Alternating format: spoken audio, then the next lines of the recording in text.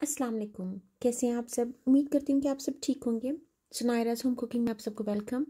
आज मैं गजरेला की रेसिपी आप लोगों के साथ शेयर करूँगी। तो चलिए फिर किचन की तरफ़।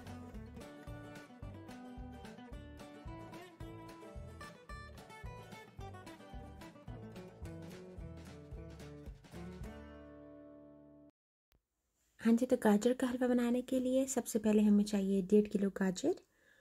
ऑब्वियसली क्योंकि गाजर के बगैर गाजर का हलवा नहीं बनेगा।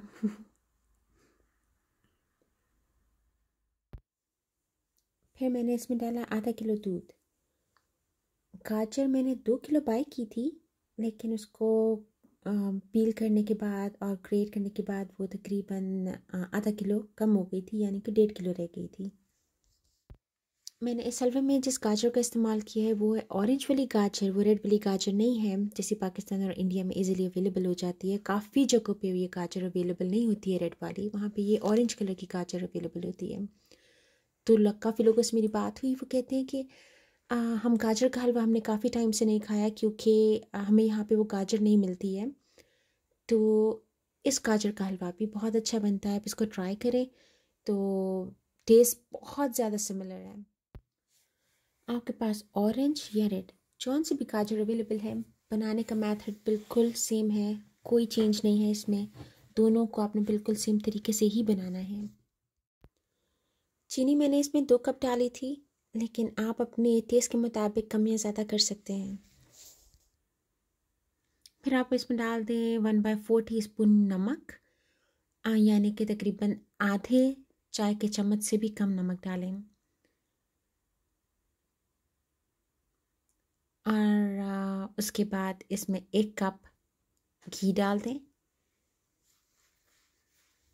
घी भी आप कम या ज़्यादा कर सकते हैं, पर गाजर के हलवे में घी ज़्यादा अच्छा लगता है। मैंने घी की क्वांटिटी कम करके भी बनाया था, पर वो बहुत ड्राई ड्राई से बना था, इसलिए घी की यही क्वांटिटी अच्छी है, सही है। और उसके बाद जब शीरा ड्राई हो जाए तो आप इसमें ड्राई फ्रूट्स डाल दें। जितने आपने डालने हैं जौन से ड्राई फ्रूट्स आपने डालने हैं, आप डाल दें। और साथ ही आप इसमें तकरीबन 250 ग्राम्स यानी आधा किलो से भी आधा खोया डाल दें और साथ ही इलायची पाउडर डाल दें और इसको अच्छे तरीके से मिक्स कर लें। गाजर का जो हलवा है, उसको आपने हल्की आँच पे भूनते जाना है और लेकिन बहुत ज़्यादा नहीं भूनना कि ड्राई हो जाए, इसके जूसेस स्टिल रहें।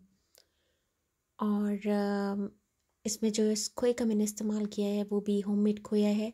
उसका लिंक मैं डिस्क्रिप्शन में डाल दूँगी। और वो खोया स्पेशली गार्निशिंग वगैरह के लिए या बीच में मिक्स करने के लिए यूज़ होता है। गुलाब जामुन बनाने के लिए दूसरा खोया होता है, इससे गुलाब जामुन से ही नहीं बनते हैं। लीजिए गाजर का हलवा रेडी है। ये खाने में बहुत मज़े का होता है, इसको ज़रूर ट्राई करें। और वो लोग जो कि बाहर ममालिक में रहते हैं और उनको गाजर अवेलेबल नहीं होती है दूसरी इजीली तो वो इस गाजर से भी हलवा बना सकते हैं। एंड इनमें आप इसके ऊपर ड्राई फ्रूट्स और खोया डाल दें। आप इस रेसिपी को ज़रूर ट्राई कीजिएगा और अगर अच्छी लगे तो मेरे चैनल को सब्सक्राइब करें लाइक करें शेयर करें कमेंट करें और बेल आइकन ज़रूर दबाइएगा ताकि न्यू आने वाली रेसिपीज़ आप तक पहुँच सकें। एक दफ़ा इस रेसिपी को ज़रूर ट्राई कीजिएगा, ये बहुत मज़े की बनती है। फिर आऊँगी एक न्यू रेसिपी के साथ। अल्लाह हाफ़